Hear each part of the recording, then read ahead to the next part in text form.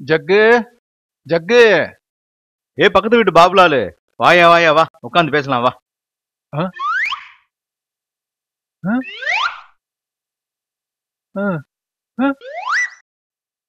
என்னடா இது?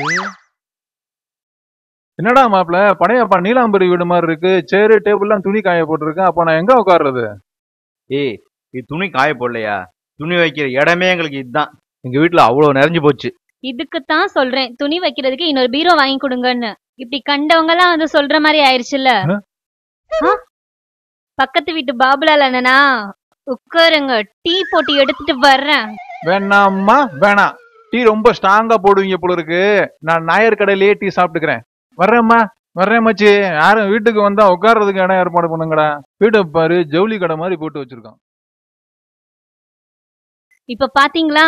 இதுக்கு தான் நான் சொன்னேன். இன்னொரு பீரோ வாங்கியிருந்தா இந்த கஷ்டம் எல்லாம் வந்திருக்காதுல்ல? வாங்கிட்டா போச்சு. நீ கேக்குறதெல்லாம் வாங்கி கொடுக்கத்தானே உன்னை கல்யாணம் பண்ணிருக்கேன் ரெடி பண்ணிக்க. கடைக்கு கிளம்புவோம். சாப்பிட்டு போலாம். அப்ப நம்ம பேசிக்கிட்ட மாதிரி ரெண்டாயிரம் ரூபாய் பட்ஜெட்ல பீரோ வாங்க போறோம். என்ன சொல்ற? ஆமாங்க. அனாவசிய ஆடம்பர செலவு நமக்கு எதுக்கு? போறோம். ரெண்டாயிரம் ரூபாய்க்கு பீரோ வாங்குறோம். வர்றோம். வாங்க சார். என்ன சார் வேணும் சொல்லுங்க. பீரோ. சொல்லுங்க. வாங்கணும். என்ன விலைக்கு சார்? சார் எங்க பட்ஜெட் ரெண்டாயிரம் சார். ரெண்டாயிரம் ரூபாயில காட்டுங்க. ரெண்டாயிரம் தானே? இருக்கே. இதுதான் ரெண்டாயிரம் ரூபாய்க்கு இதுதான் வரும். என்னங்க இது? அஞ்சரை பெட்டி மாதிரி இருக்கு. எனக்கு பெரிய பீரோ தான் வேணும். சரி வா. இந்த பீரோ நாலாயிரம் ரூபாய் ஓகே சார். இந்த பீரோ எப்படிங்க பத்து? ரொம்ப சின்னதா இருக்கு. என்னது இன்னும் பெருசு வேணுமா? ம் ஆமா. பட்ஜெட் எகிருதே சரி வாங்க. அதை விட பெரிய பீரோ வாங்கணும்னா இதுதான் வாங்கணும். சார் இதெல்லாம் விலைக்கு விற்கிறது இல்ல சார். இது கடை பீரோ சார். ஓ கடை பீரோவா? சரி ஓகே.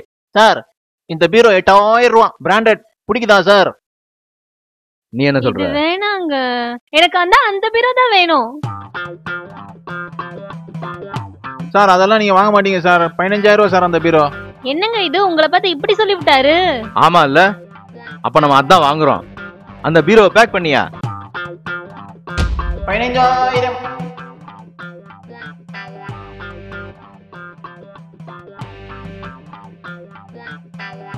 பதினஞ்சாயிரம்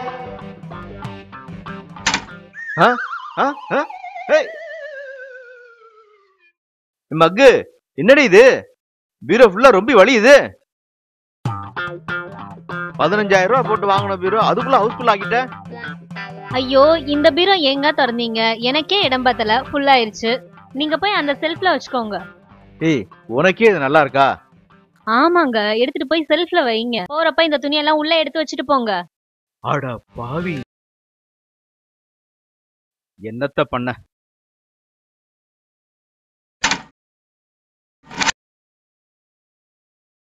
இவங்களுக்கு எத்தனை பீரோ வாங்கி கொடுத்தாலும் பத்தாதுங்க. புருஷனோட கர்ச்சி பக்கி கூட இடம் இல்ல. பாத்தீங்கல்ல? நம்மள மாதிரி ஆம்பளைங்களுக்கு இந்த அலமாரி தாங்க பீரோ. எப்போனாலும் திறக்கலாம் மூடலாம் சாவியும் கிடையாது பூட்டும் கிடையாது. யார் வேணாலும் பார்க்கலாம். ரொம்ப பேர் வீட்டில் இதாங்க ஆம்பளைங்க பீரோ.